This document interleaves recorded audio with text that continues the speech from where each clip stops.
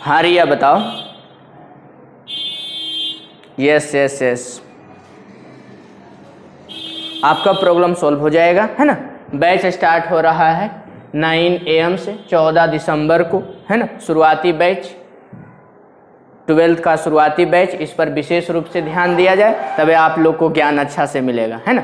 क्योंकि वक्त बहुत कम है। जितना दम है लगा दो। कुछ लोग को हम जगा रहे हैं, कुछ लोग को प्रचार करके आप जगा दो। अभी अभी हम आप लोग को बाइनोमियल समाप्त किए है ना? उसके बाद आप लोग का कहना है कि पूरा डिफ्रेंशिएशन सर जो फिजिक्स में यूज़ होता है इंटीग्रेशन डिफ्रेंशिएशन का पूरा फार्मूला लिखा दीजिए। हम आप लोग को लिखा देंगे, लेकिन एक कंडीशन है।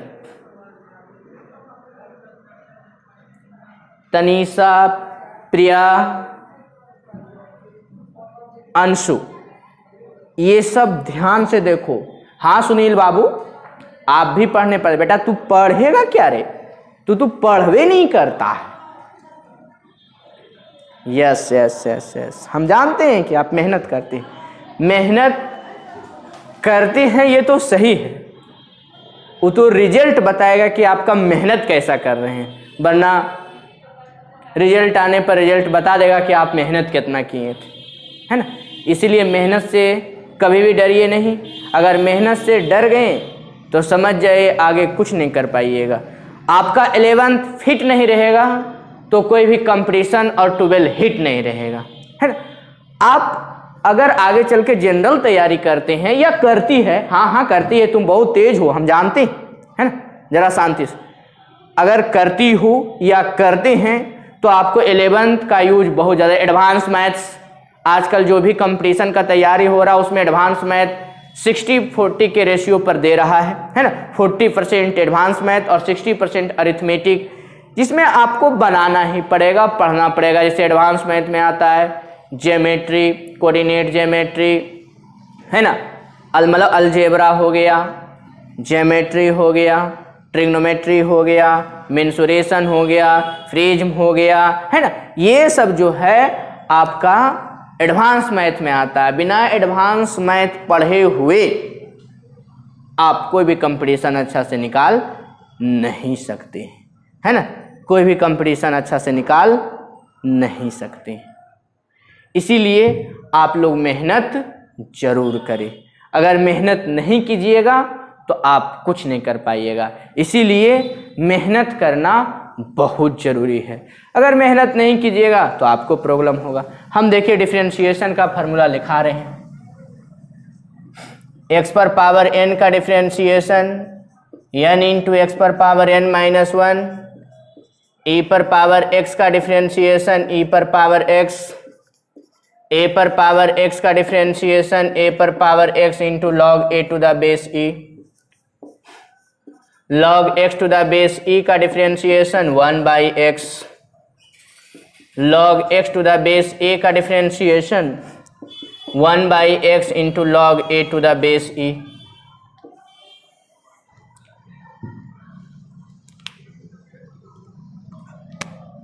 constant का डिफ्रेंशिएशन ज़ीरो होता है। रूट एक्स का differentiation one by two root x जबकि साइन एक्स का डिफ्रेंशिएशन कॉस एक्स होता है। कॉस एक्स का डिफ्रेंशिएशन माइनस साइन एक्स होता है। टेन एक्स का डिफ्रेंशिएशन सेक स्क्वायर एक्स होता है।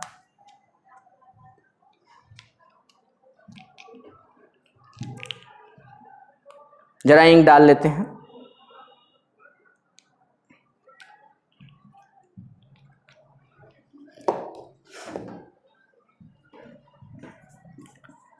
सेक एक्स का differentiation sec x into tan x होता है।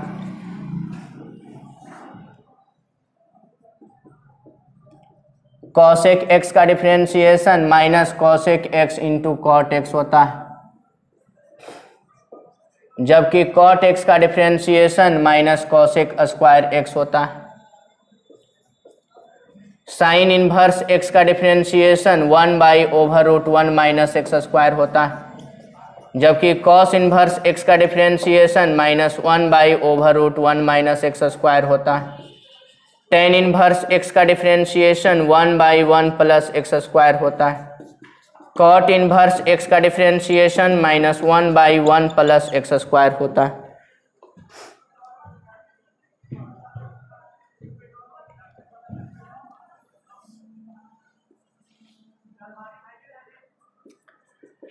सेक इनवर्स एक्स का differentiation one by x over root x square minus one जबकि कॉसेक इनवर्स एक्स का differentiation minus one by x over root x square minus one u into v का differentiation you बाहर भी का differentiation भी बाहर you का differentiation you बटा भी का differentiation v d u by d x minus u d v बटा डी एक्स बटा v square u into v into W का डिफ्रेंशिएशन यू भी बाहर डब्लू का डिफ्रेंशिएशन डब्लू भी बाहर यू का डिफ्रेंशिएशन यू डब्लू बाहर भी का डिफ्रेंशिएशन हम सुन रहे हैं आप लोग का सब आवाज़, है ना? आप लोग बोल रहे हैं इतना? हाँ पूछिए, कोई दिक्कत नहीं। इतना याद कैसे रहता? है याद इज़ ए कंसंट्रेशन जब तक आप कंसंट्रेशन नहीं लगाइएगा तो कोई भी चीज़ आपका दिमाग में नहीं आएगा। आप लोग इलेवन ट्वेल्थ को गवाते हैं। दो साल गवाइएगा तो अगला बीस साल पछताइएगा। इसलिए दो साल को अच्छा से पढ़िए, बीस साल अच्छा से रहिएगा, है ना? और आप लोग याद, ये इतना प्रैक्टिस है। मैथ मैथ जो होता है प्रैक्टिस का चीज़ हो जब तक प्रैक्टिस नहीं कीजिएगा, तब तक नहीं आएगा। मिस तनीषा, तुम बहुत बोलती है। राइट ना? हाँ रोशन। पढ़ने पर ध्यान दो बेटा, पढ़ने पर ध्यान दो। इतना याद इतना याद इसलिए हो जाता है क्योंकि हम पढ़ाते रहते हैं। तो याद होगा ना? इतना मेहनत किए हैं। मेहनत आपको पता चल ही रहा होगा कि कितना मेहनत किए। अगर मेहनत नहीं कीजिएगा तो आपको फल नहीं मिलेगा। अगर मेहनत कीजिएगा तो फल आज मिले, कल मिले, परसों मिले, लेकिन मिलेगा लेकिन आप लोग जब पढ़ते होंगे तो क्या करते होंगे? बगल में मोबाइल बजा देते होंगे। इधर सॉन्ग भी चल रहा है, और इधर पढ़ भी रहे हैं। मैथ, ऐसे मैथ बनाने में करते होंगे तो गलत बात है। हम आप लोग को बार बार कहें, फेयर नहीं, केयर करिएगा, तब एग्ज़ाम में शेयर कर पाइएगा। इसलिए फेयर करना हमारे हिसाब से बिल्कुल गलत है। नोट्स बनाइए, जैसे लिख पढ़ते रहते हैं, उसी प्रकार से नोट्स बनाते जाइए, है ना? और उसको उस रिवीजन करिएगा, लिख लिख के रिवीजन करिएगा तो और अच्छा मिलेगा, है ना? इसलिए आप लोग क्या करते हैं रिवीजन आप जब फेयर करते हैं तो कभी मोबाइल से गाना बजा देते हैं, जिसके कारण दिक्कत हो जाता है। मोबाइल एक बीमारी है, इससे बचिए।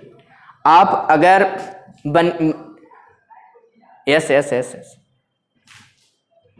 आप यूपीएससी का तैयारी करिएगा, कहिएगा हम आईएएस ही बनेंगे, एक डीएम बताइए डीएम से पहले डीएम बनने से पहले कुछ वर्क करना पड़ता है, कुछ मेहनत करना पड़ता है फिफ्टी सिक्स सब्जेक्ट खाली कहने से होता है, कहना और करने में आसमान ज़मीन का फ़र्क होता है। एक कॉपी पर रूटीन बनाना और उसको अपने लाइफ में, अपने लाइफ में जो है ना इनिशिएटिव करना। अपने लाइफ में उसको जो है ना प्रैक्टिकली रूप से जो होता है, उसको करने में बहुत आसमान ज़मीन का फ़र्क होता है। वो कॉपी पर लिख देते हैं और एक ज़मीन पर उतारने में दिक्कत होता है। आप लोग रोज़ रूटीन बनाती है ना? जब रूटीन बनाते हैं तो रूटीन सारा फेल हो जाता है। इसलिए फेल से बचने के लिए आप लोग मेहनत कीजिए। हम यही कर सकते हैं। इससे ज़्यादा कुछ नहीं। मेहनत इतना खामोशी से करो कि सफलता शोर मचाएगी। शोर नहीं। पूरा ज़ोर लगा दो सफलता को पाने के लिए। यस चलिए लिखिए आप।